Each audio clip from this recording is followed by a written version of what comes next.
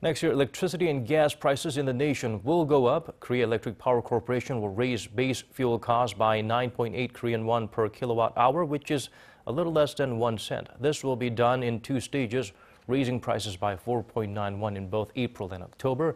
There will also be a hike in environmental costs. The average family of four will see their monthly power bills rise by about 1 US dollar 64 cents. Gas charges will go up by around 1.2 Korean won per megajoule in May with more hikes in store for July and October. Korea Gas Corporation decided to raise the prices in stages to prevent radical price jump in a certain period.